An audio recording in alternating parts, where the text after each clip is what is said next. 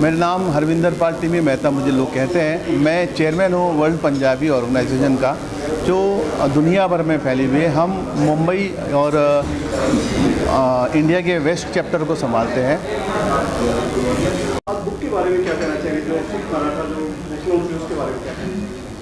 आ, मैं बहुत ही खुशकिस्मत इंसान लगता हूँ कि मेरे को ये आज मौका मिला। कि हमारे प्रिंसिपल जो खालसा कॉलेज मुंबई का बहुत बड़ा एक कॉलेज है जिनके प्रिंसिपल साहब ने मुझे कहा कि यार ये बुक हमें लॉन्च करनी है और हमें बहुत अच्छा मौका मिल गया वर्ल्ड पंजाबी ऑर्गेनाइजेशन की तरफ़ से भी कि हम ये बुक लॉन्च कर पाए टाइम्स की बुक के माध्यम से। क्या है बुक बुक में जो है हम अ, कहना चाहता हूँ मैं मेरी जो मातृभूमि और मेरी जन्मभूमि, दोनों ही असल में देखा जाए महाराष्ट्र। और हम सिख हैं और सिखों के साथ में हमारा मराठी कल्चर जो है, अभी आज हम जिस तरीके से नासिक से मैं देवलाली से बिलोंग करता हूँ और मेरे जो ग्रैंड फादर हैं, उनका नाम तारा सिंह मेहता था, जो एक खुद राइटर थे और उन्होंने उस टाइम में, वो ज़माना ऐसा नहीं था कि जो हम उस टाइम बुकें होती थी but Ranjit weekly, Punjab weekly, ऐसे बहुत सारे सब्सक्रिप्शन होते थे जहाँ पर मेरे ग्रैंड फादर ये लिखते थे। और मुझे प्रोत्साहित मिला कि मैं ग्रैंड फादर तारा सिंह मेहता के नाम से आज ये बुक में अपने आप को एसोसिएट बना और टाइम्स बुक ने इसको लॉन्च किया। और सिख और मराठा जो है, ये शिवाजी से लेके गुरु गोविंद सिंह तक देखा जाए तो हम, हमने मुगलों के साथ ही आज लड़ा और हमने लड़के आज अपने आप को आज़ादी हासिल की। बाद में अंग्रेज़ों से हुई है बट सिखों का हमेशा, मराठों का हमेशा ये कल्चर रहा। दे आर फाइटर्स ने काफ़ी हेल्प की है, गुरुद्वारों से पैसे दिए गए हैं क्या कहना चाहेंगे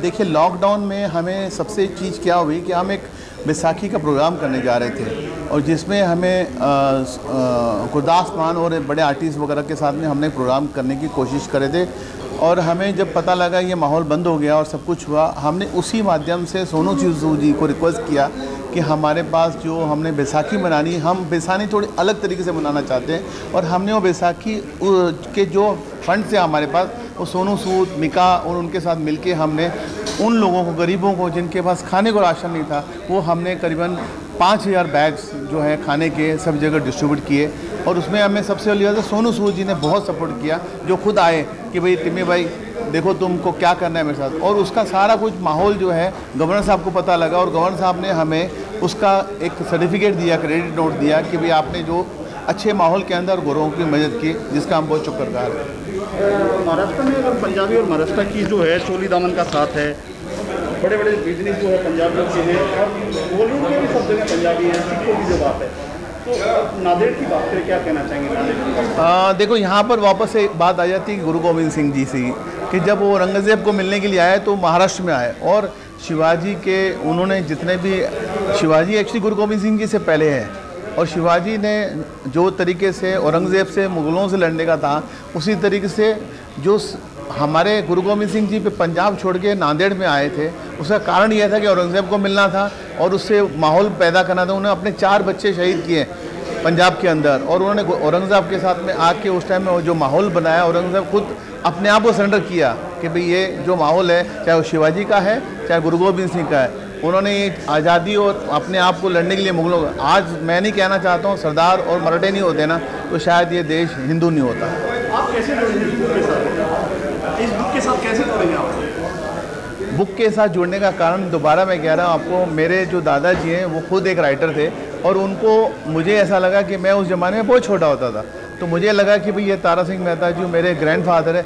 आज वो राइटर थे और आज जब मुझे प्रिंसिपल जगजीत सिंह जी मिले और उन्होंने मुझे कहा ये बुक करनी है मुझे तो मैंने टाइम्स बुक के साथ किया। तो मुझे आज ऐसा लगता है कि शायद जगजीत सिंह जी के साथ ही मिलकर मैंने अपने दादाजी तारा सिंह मेहता का आज अपना एक विल फुलफिल किया बस इसी।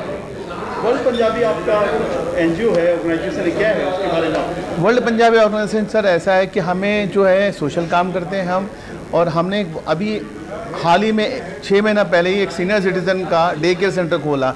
बुज़ुर्ग जो है, चाहे उनके बच्चे हैं तो भी इग्नोर हो रहे थे और उनकी जो एज हो जाती है सिक्सटी प्लस के बाद में, कोई फैमिली कोई दोस्त, कोई सपोर्ट नहीं करता है। हमने उनका डे की एक्टिविटी का एक पूरा माध्यम बनाया कि वो सुबह में हमारे पास आ जाएँ, दस से लेकर छः बजे तक हमारे साथ में टाइम पास करें। अब नहीं तो अदरवाइज़ वो आज के माहौल में नौकर बन चुके हैं, अपने पोतों के नौकर बन चुके हैं फैमिली से गालियाँ खाते हैं, माहौल बना हुआ है ऐसा। तो हमने उनके लिए आज उनको अपने को जीने की जो जिन्होंने हमको जीना सिखाया जिन लोगों ने अपने बच्चों को जीना सिखाया आज आज हमने उनको जीने की एक राहत बनाई कोशिश बनाई।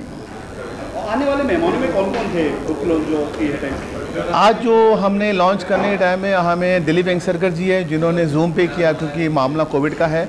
बलिंदर सिंह संधू है उन्होंने आया और हमारे फ़िल्म के जो एक्टर हैं सचिन पिलगांवकर जी वो आए प्लस दलीप ताहिल जी आए और महाराष्ट्र के जो ये एडवोकेट साहब हैं उज्जवल निक्कम जी, वो आज उन्होंने स्पेशली हमारे साथ में टाइम दिया। और सबसे बड़ी बात है कि इन्होंने सारों ने सिख और मराठी कल्चर के बारे में जो आज हमने माहौल को लिया है, उन्होंने उसके बारे में बहुत बड़ी बात की कि भाई, आज ये माहौल हम लोग बहुत अच्छे तरीके से बना सके हैं कि सिख और मराठी जो है कर सकें। प्राइस की बात करें क्या कितना प्राइस रखा है इस बुक का या फ्री क्या है देखिए टाइम्स बुक है और दूसरा कमर्शल है। टू नाइन्टी नाइन की प्राइस उन्होंने रखी है। बाकी माहौल के हिसाब से हम अगर कोई संस्था लेना चाहती हैं तो हम उसको कंसेशन रेट पे जो भी है टाइम से बात करके करवा दें। कितना प्राउड है आपको आज बुक होकर है कि नई चीज़ जुड़ी है? अ, मुझे सबसे बड़ी बात है कि अ, मैं ना बोलना चाहता हूँ कि मेरी एजुकेशन ना होते हुए भी आज एक मैं बुक लॉन्च में पहुँच सका टाइम्स के प्लेटफॉर्म पे पहुँच सका। वो मेरे लिए बहुत बड़ी बात है कि ना एजुकेशन होते हुए भी एक बुक लॉन्च हो सकी है मेरे हाथों से उसका मैं हमेशा खुश रहूँगा पंजाबी में क्या मैसेज देना चाहेंगे आप? डेली पंजाबी पंजाबी में क्या मैसेज पंजाबियों को तो एक ही बात कहूँगा कि हाँ, गुरु नानक देव जी जो हमारे कह के गए नाम जपो किरत करो वंड खाओ। नाम जपो वाहिगुरु ना दे याद हमेशा याद करते रहो।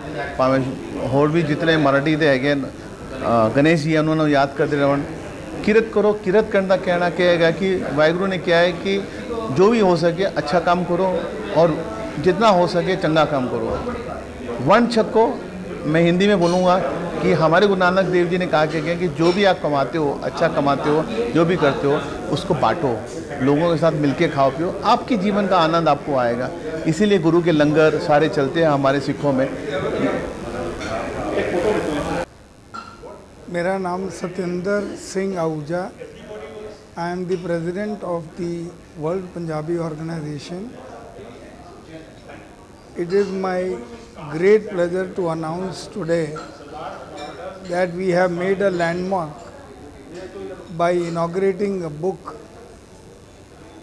called Sikh Maratha Cultural Legacy. This book is about the deep relationship between Sikh and Maratha which has not been which has not been exposed till date.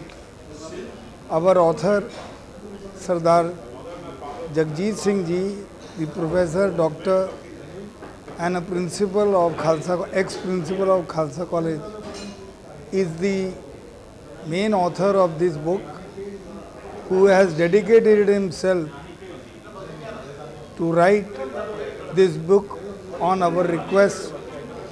And this idea was conceived just as a small seed but it turned out to be a, a it led to writing this book. The book speaks about the deep the bridge which has been built for the deep cooperation and appreciation and mutual understanding between Punjab and Maharashtra. The people have to come together for educational, cultural, socializing, and for other purposes to create good human values between two people of these states. These two people of these states are integrated from a long time, which people do not know. The hymns of Namdev ji have been inserted in this book, which are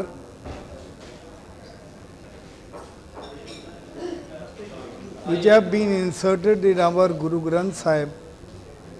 And this book is the most revered book. It is not a book actually, it is a Granth which we seek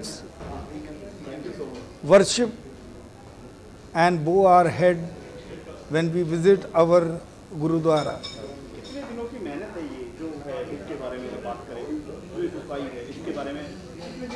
कब से तैयारी चल रही है इसको book की तैयारी जो चल रही थी इसको कम से कम आठ महीने लगे हैं आठ से नौ महीने और आज टाइम्स ऑफ़ इंडिया ने इसको इनाग्रेट किया है मीन्स पब्लिश किया है throughout the world and this book will be service sold and distributed by Times of India हमेशा योगदान रहा है चाहे बाढ़ हो कुछ भी हो हर चीज़ में आगे आए हैं।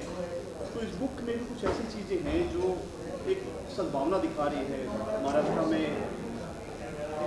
एक, हम इसके अंदर ये बताने की कोशिश कर रहे हैं कि सिख और मराठास की क्या वैल्यूज़ हैं।